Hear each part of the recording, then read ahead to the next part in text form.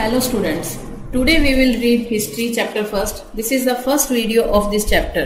Chapter first is what, where, how and when. इसमें सबसे पहले आपको रशीदा की पिक्चर दी गई है, जो कि न्यूज़पेपर पढ़ रही है। वो एक हेडलाइन देखती है जिसमें कि 100 हंड्रेड ईयर्स एगो यानी कि 100 साल पहले, वो ये क्वेश्चन करती है कि 100 साल पहले के बारे में हम कैसे जान सकते हैं? फाइंडिंग आउट व्हाट हैपेंड कल की जैसे कोई भी बात हो, वो हम न्यूज़पेपर से रेडियो से जान सकते हैं। अगर लास्ट ईयर की बात है तो वो तो जैसे किसी को याद हो, उससे पूछ कर पता कर सकते हैं। बट जो हंड्रेड ईयर्स है, वो उसे कैसे जान सकते हैं?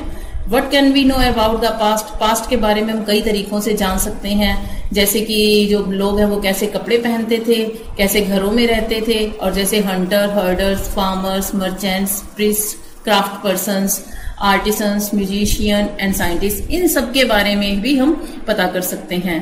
और हम ये भी जान सकते हैं कि बच्चे कैसे गेम खेलते थे, कैसे स्टोरी सुनते थे। अब ये है कि नेक्स्ट है आपके वेयर डिड पीपल लिव लोग कहाँ रहते थे। तो इसमें आपको मैप में नर्मदा के बारे में पूछा गया है कि नर्मदा नदी के बारे में जानिए आप। मिलियंस ऑफ़ ईयर्स एगो लोग इन नदियों के किनारे रहते थे। वे यहाँ कई सालों तक रहे। इनमें से कुछ स्किल्ड गैदरर्स भी थे, जो कि अपना फ़ूड खुद इकट्ठा करते थे। They knew about the vast wealth of plants in the surrounding forest and collect roots fruits and other forest produce for their food तो अब उन्हें पता था कि उन्हें अपने भोजन के लिए इन पौधों से और फॉरेस्ट से क्या मिल सकता है। इसके लिए वो रूट्स फ्रूट्स और दूसरी चीज़ें फॉरेस्ट से गैदर करते थे। और वे जानवरों का शिकार भी करते थे। उनमें से कुछ एक्सपर्ट हंटर्स भी थे। नेक्स्ट हम बात करेंगे सुलेमान और किरदर हिल्स के बारे में। Some of the areas where women and man first began to grow crop such as wheat and barley तो ये वो कुछ एरियाज़ थे जहाँ पे कि लगभग 8000 साल पहले आदमी और औरतों ने क्रॉप्स को ग्रो करना शुरू कर दिया था, जिनमें कि वीट और बार्ले मेन थी। यहाँ पे उन्होंने जानवरों को भी पालना सीख लिया था। सबसे पहले उन्होंने शीप गोट और अदर कैटल्स को रेयर करना शुरू किया। एंड लीव्ड इन विलेजेस और वो गाँव बसाकर यहाँ पे रहने लगे थे। नेक्स्ट अब अगर आप गारो हिल्स के बारे में देखें, जो कि सेंट्रल इंडिया के विंध्यास के नॉर्थ ईस्ट में है तो ये कुछ दूसरे एरियाज़ थे जहाँ पे की एग्रीकल्चर डेवलप होने लगा था और यहाँ पे राइस को सबसे पहले उगाया गया places where rice was first grown are to the north of the Vindhyas trace the river Indus and its tributaries कि हम इसमें इंडस रिवर और उसकी ट्रिब्यूटरीज को ट्रेस करना है। ट्रिब्यूटरीज क्या होती हैं? कुछ ऐसी स्मॉलर रिवर्स होती हैं जो कि लार्ज रिवर में जाकर मिल जाती हैं। About forty seven hundred years ago some of the earlier cities flourished on the banks of these rivers लगभग सैंतालीस सौ साल पहले इन नदियों के किनारों पर शहर फ्लरिश्ड होने लगे थे मतलब बसने लगे थे। लगभग 2500 साल पहले गंगा और उसकी सहायक नदियों के किनारे और समुद्र के तटवर्ती इलाकों में भी लोग बसने लगे थे। Locate the Ganga and its tributary called the Son. Ganga नदी और उसकी ट्रिब्यूटरी जो कि सोन नदी कहलाती है, उसको देखना है। In ancient times the area along these rivers to the south of the Ganga was known as Magadha. प्राचीन समय में इन जो गंगा के किनारे का जो एरिया था, उसे मगध के नाम से जाना जाता था। इसके, इस एरिया के जो शासक थे, जो रूलर्स थे, वो बहुत ज़्यादा पावरफुल थे और उन्होंने एक बहुत बड़े राज्य की स्थापना की थी। और kingdoms were set up in other parts of the country as well और देश के अन्य हिस्सों में भी उन्होंने ऐसे ही विशाल और शक्तिशाली राज्यों की स्थापना की थी। Throughout people travelled from one part of the subcontinent to another लोगों ने हमेशा क्या जो सब कॉन्टिनेंट होते थे, उसके एक हिस्से से दूसरे हिस्से तक उसकी ट्रेवलिंग की थी उन्होंने। कभी कभी क्या था कि वो हिमालय जैसे ऊँचे पर्वतों, पहाड़ियों mountains including Himalayas desert rivers and sea made journey dangerous at time जो कि उनकी यात्राओं को काफ़ी जोखिम भरा, काफ़ी मुश्किल और डेंजरस बनाते थे वो एरिया थे, जैसे कि पर्वत, पहाड़ियाँ, रेगिस्तान और नदियाँ। ये, फिर भी वो लोग इन लोग, इन, इस एरिया से यात्राएँ करते थे। उनके लिए कुछ भी इम्पॉसिबल नहीं था। So man and women moved in search of livelihood जो आदमी और औरत थे, वो भी एक स्थान से दूसरे स्थान पर जाया करते थे, चीज़ों की तलाश में अपने जीवन यापन के लिए as also to escape from natural disasters like flood और ड्रॉट कभी कभी उन्हें ये जो नेचुरल डिजास्टर्स होती हैं, जैसे कि फ्लड्स और ड्रॉट इनकी वजह से भी एक जगह से दूसरी जगह जाना पड़ता था। Sometimes man massed in armies conquering other कभी कभी जो ये लोग थे अपनी सेनाओं के साथ दूसरे राज्यों पर भी आक्रमण करते थे और उन पर जीत हासिल करते थे। इसके अलावा कि जो मर्चेंट्स होते थे, वो भी कारवांस में ट्रेवल करते थे। कारवांस वो होते हैं जिसमें ये बहुत बड़े एक, बहुत बड़ा एक ग्रुप बनाकर पैदल ट्रेवल करते थे मर्चेंट्स उसको कहते हैं कारवांस। उसके अलावा वो शिप्स पर भी वैल्यूएबल गुड्स जो कि कीमती चीज़ें होती हैं या ज़रूरत की चीज़ें होती थी, उन्हें भी एक जगह से दूसरी जगह लेकर जाते थे।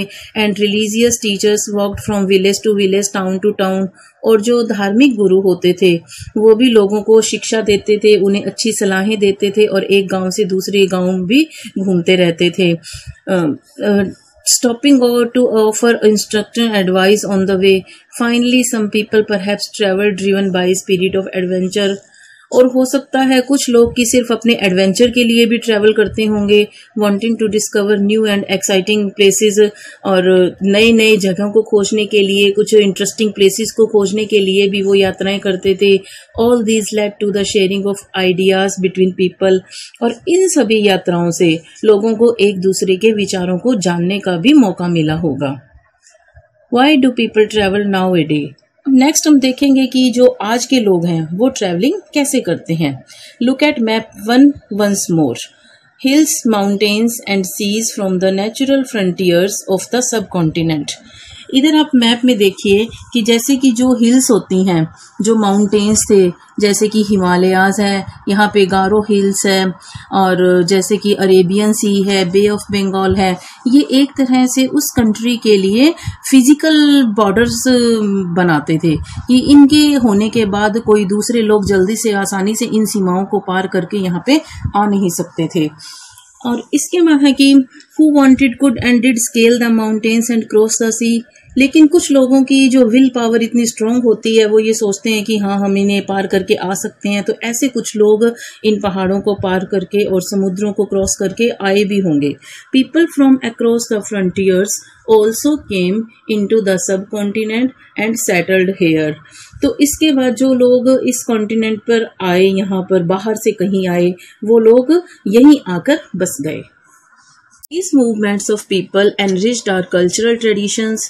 तो ये जो लोगों के आवागमन थे, लोग जो बाहर से यहाँ पे आए थे तो इन लोगों के इस आने जाने ने हमारी जो कल्चरल ट्रेडिशन था, उसको भी काफ़ी एनरिच किया था कि जैसे दूसरी जगहों की कल्चर भी हमारी कल्चर में आकर मिल गई थी people have shared new ways of carving stone composing music and even cooking food over several hundreds of years तो कई सौ वर्षों से लोग जो पत्थर को तराशने का कार्विंग स्टोन मतलब पत्थर पे कोई डिज़ाइन बनाना, उसे खोद कर उसे कहते हैं कार्विंग और जो म्यूज़िक था उसको बनाना, और यहाँ तक कि उन्होंने जो फ़ूड को कुक करना था, उसके भी अलग अलग तरीके अपनाए थे। नेक्स्ट है आपके names of the land two of words we often use for our country are India and Bharat हमारे देश के लिए मेनली हम इंडिया और भारत जैसे दो नामों का यूज़ करते हैं। The word India comes from the Indus called Sindhu in Sanskrit जो इंडिया शब्द है, वो इंडस नदी से आया है, जिसको कि संस्कृत में सिंधु कहते हैं। Find Iran and Greece in your atlas The Iranians and the Greeks who came through the northwest about 2500 years ago and were familiar with the Indus called it the Hindos or the Indos. तो जो ईरानी थे और जो यूनानी लोग थे, वो north west की तरफ़ से 2500 साल पहले आए थे और वो इंडस को इंडस के बारे में जानते थे और इंडस को वो हिंदोस और इंडोस कहकर पुकारते थे. And the land to the east of the river was called India इसलिए इस एरिया के जो ईस्ट में जो एरिया था, उसको उन्होंने इंडिया कहा. Name Bharat was used for a group of people who lived in the north west और जो भारत नाम है, वो इंडिया के जो नॉर्थ वेस्ट में रहने वाले लोगों का एक ग्रुप था, उसके लिए यूज़ किया जाता था। And who are mentioned in the Rigveda the earliest composition in Sanskrit dated to about thirty five hundred years ago और इसके अलावा इसको जो 3500 साल पहले संस्कृत में ऋग्वेद लिखा गया था, उसमें भी इसको मेंशन किया गया है भारत नाम को। Later it was used for the country जो कि बाद में देश के लिए यूज़ होने लगा। ओके स्टूडेंट्स नेक्स्ट टॉपिक्स के लिए हम नेक्स्ट वीडियो में देखेंगे। Thank you